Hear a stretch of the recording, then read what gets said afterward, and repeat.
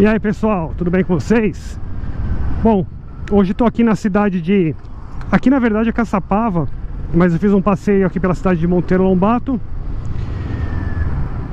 Tive que interromper esse passeio um pouquinho antes Que foi avisado pelos policiais militares e por moradores que É muito perigoso o lugar que eu estava.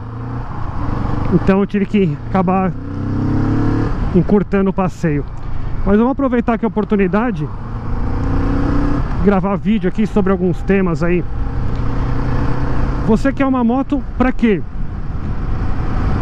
Só para se deslocar do ponto A até o ponto B? Ou você quer algo que te proporcione Muito mais do que um simples deslocamento? Então Eu quando eu Desde quando eu comprei minha primeira moto eu, a minha primeira foi uma, uma PCX Aí quando eu comprei, minha mulher falou assim Nossa Eu não acredito que você comprou essa moto tão bonita. Eu pensei que você ia comprar uma motinho Básica, bem simplona Só pra você ir voltar ao trabalho. Só que não, né?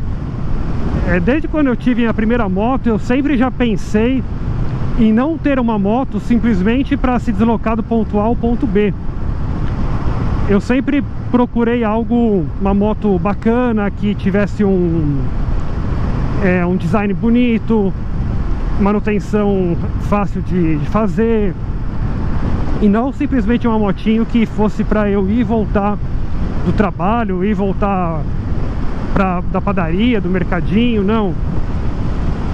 Então quando você for procurar uma moto, comprar uma moto, o ideal é que você pense nisso para você ver o que você vai, vai querer com, com essa moto Você vai querer só exclusivamente ir voltar do trabalho?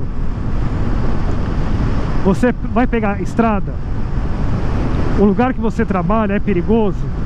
Tudo isso tem que ser levado em conta na hora de você escolher o produto que você vai adquirir As motos que eu tive foi PCX, Factor, a NMAX, a Crosser e agora a Vulcan. Quando tinha a, as scooters, eu podia ir para qualquer lugar com elas. Qualquer lugar que eu ia tranquilo, sem medo. Mas eram outros tempos. Hoje em dia não, hoje em dia estão levando tudo. Até scooter a mão armada os caras estão levando. Então tem que tomar cuidado. Com a Factor, eu não cheguei nem a rodar mil quilômetros que me levaram ela duas vezes em um mês. É, com a Crosser uma baita moto uma baita moto. Viajei com ela é, enfim, me atendia muito bem, confortável. Só que com a a Crosser eu não podia andar em qualquer lugar com ela não, que era uma moto muito, muito visada. Tanto é que já tentaram me roubar uma vez com ela. Então tudo isso tem que ser levado em conta. Que agora eu com a Vulcan, eu ando mais sossegado. Eu tenho moto, eu tenho um motor aqui para eu tenho um motor para rodovia, eu tenho um motor para estrada, eu, eu vou e volto do trabalho com ela, eu posso passear com ela. Então ela me atende agora plenamente em todos, todos os quesitos que antes é, as outras Nunca deixei de fazer nada com as outras. Mas vamos dizer assim, que não atendia de forma tão adequada.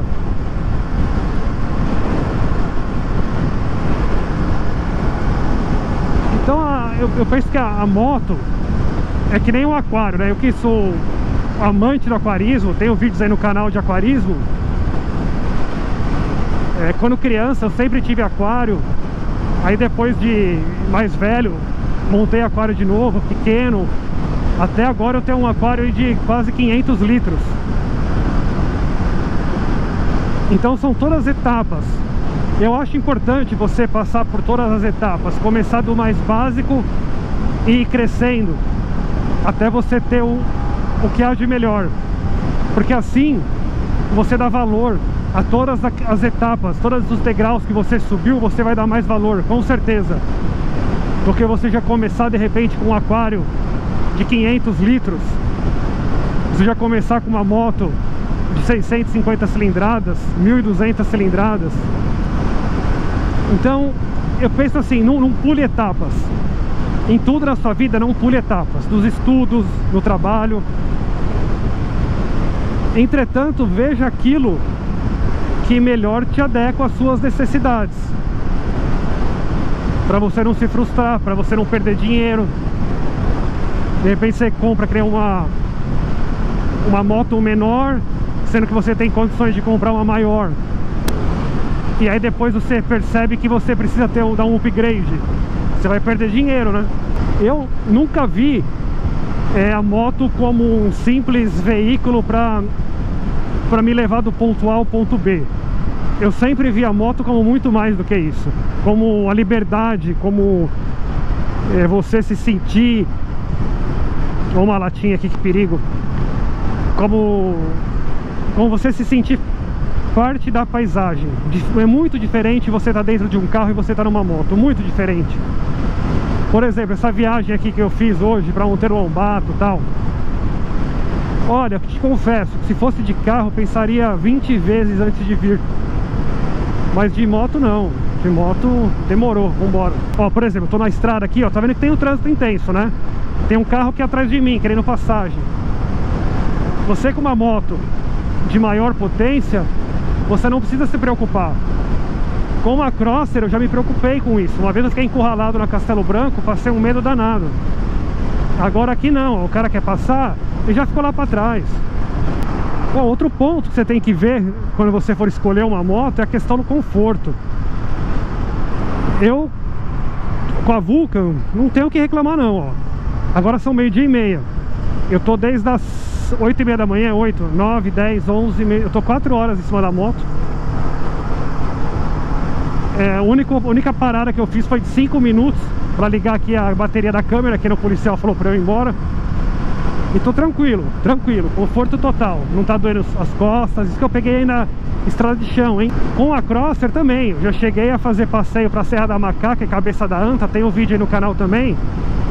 Passeio de 11 horas com a moto, em cima da moto. De boa, não me cansei. Então também tem muito a questão do, do seu corpo reagir ao cansaço. Mas claro, uma moto de menos cilindrada você vai sofrer mais, sempre. Aqui eu tô andando, por exemplo, a 100 por hora e eu tenho um motor de sobra para dar uma esticada, tenho um motor de sobra para dar um, uma acelerada. Enquanto com a pequena Crosser, que sempre me atendeu muito bem, eu não conseguia passar de 100, 110 com ela.